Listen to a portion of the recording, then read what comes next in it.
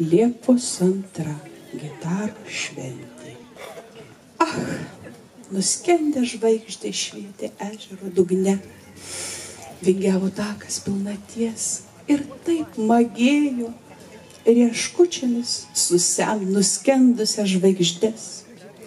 Ir eiti pilnaties taku į kitą krantą, kur laukia tu. Čia. Ach, čia tu, mielasis, padainuok, padainuok mums dainą. Nieko nėra nuostabiau, kai tu dovanoji man ir čia visiems susirinkusiems dainas. Padainuok, kestutį. Tiks. Į žodžių. Tai tu dainuok, nekalbėk. Žodžiai viską sugadina. Ačiū, kestutį. Tu nelauk iš manęs nieko nieko, nei teisybės, nei melo saldos. Aš neskinsiu gėlių iš po sniego, nebėra mano meilės daugiau. Aš neskinsiu gėlių iš po sniego, nebėra mano meilės daugiau.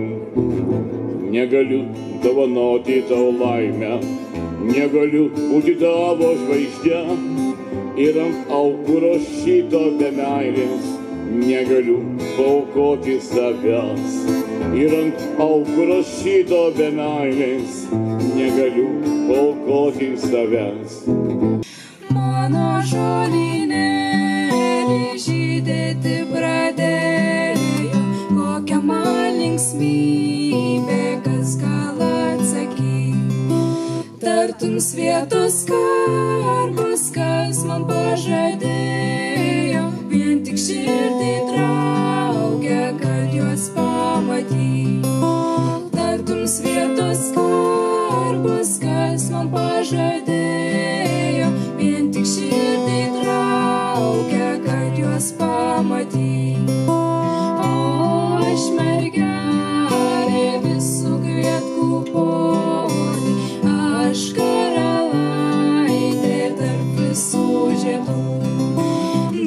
savo darželį jaunystės toną, dar aš nesuprantu vargų ir bėdų. Yra geras būti tuo kitu. Tartum paslapti mylimas diktorius, tau viena mintimiai prasitars. Šitas vakaras taip reikalingas man, jei galės atvažiuok nors dabar.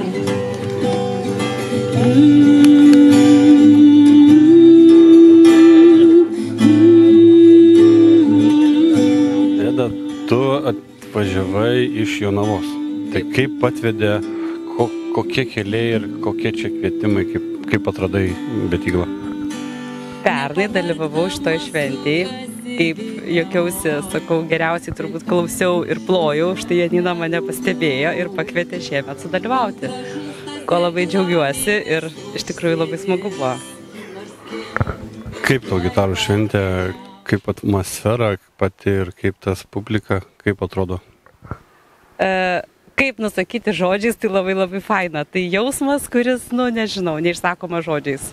Tokia gera aura, taip smagu, kiek žmonės, iš tikrųjų daug žmonių buvo ir kaip visi klausėsi, iš tikrųjų kaip smagiai, nu, iš tikrųjų ir oras geras ir atmosfera nuostabi. Ir aš jau taip pavadinau e, kitos, kitų, kitus kalbinamas, kad e, yra atlikėjų šeima.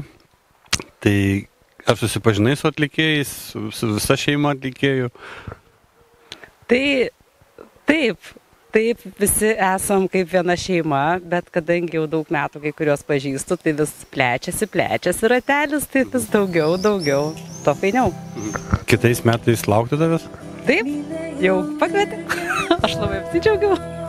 Ir pabaigai prašau kažką vieni kitiem, nu, kadangi gitarų šventė, tai ta šventė gal kažkokį linkėjimą irgi, irgi e, kitiems atlikėjams arba atlikėjų šeiminai.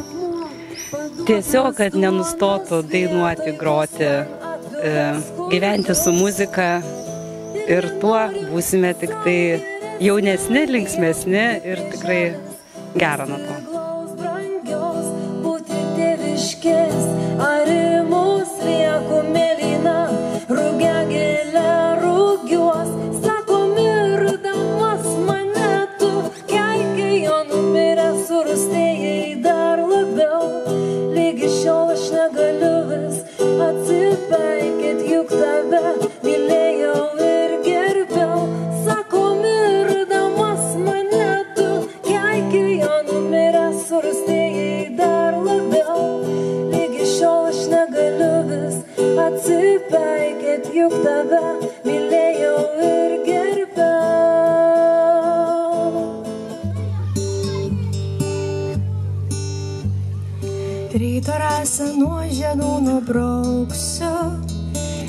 ir asoto delnų pasigausiu vėją, pasigavęs vėją, pasidirbsiu laivę, pasidirbęs laivę pas tave išplauksiu.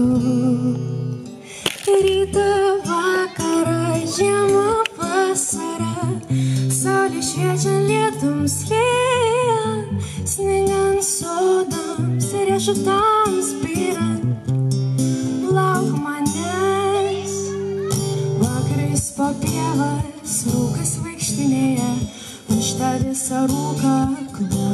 Susikviesiu, susikvietęs rūką, pasidirbsiu laivę, pasidirbęs laivę pas tave išplauksiu. Tai kurį kartą dalyvaujat? Pirmą kartą? Koks Smagu iš tikrųjų, labai faina, labai faina atmosfera, fainas oras. Smagu tiesiog. Svarbiausia, kad oras papuolė geras. Kokias dainas atlikot?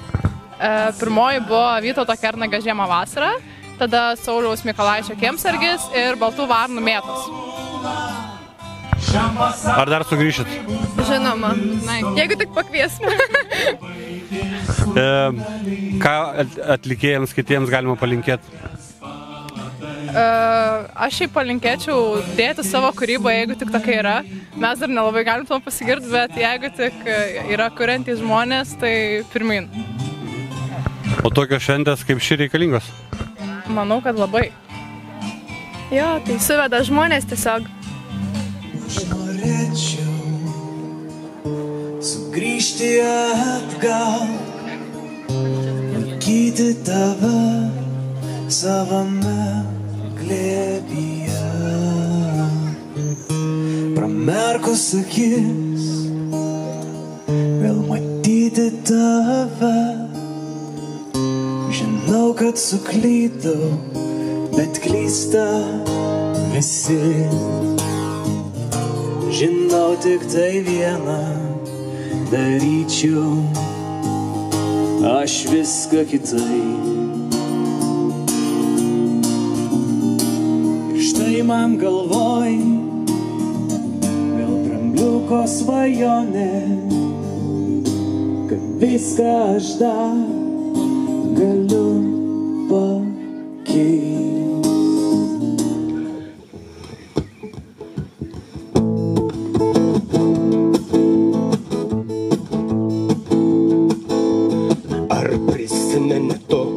juodojoje girdėme žirgus? Veržėsi jūra plati, kaip ir mūsų jaunosios širdys. Šaukėm turką Osmaną Seldžiuką pritiktų užklupt. Kad jau šitiek atjojom bangon, smegi vytautas kardą. Ir pareiškė tvirtai, baikit bajus, einame gult. O sapiega labai įsižeidęs jam padegė barzdą. Puolė vytautas didis į jūrą, jo tūžis atveso. Tai šonus jaunėliam karingam apskaldė lastam. O žirgai gėrė sūrimą šlykštų ir kriokdami dvėsė. Pirmas sykį lietuvis arklienas ragavo tada. Kaip ta gitarų šventė kilinta jau tau? Patiko jums? Labai. Kelinta šventė? Nes, neskaičiuoju švenčių. Nes labai jų daug yra tų švenčių, tai neim suskaičiuoti. Kitais metais dar važiuosi? Kur? Čia į tą šventę. Ši čia? Jeigu pakvies, važiuosiu. O ką organizatoriam galėtum palinkėti ar pasakyti kažką? Organizatoriam? Janinai. Janinai, sveikatas, laimės. Nu, Kokią atmosferą čia yra? Liuksiška. Graži vieta. Va. Ir oras visą laiką geras būna. Visą laiką.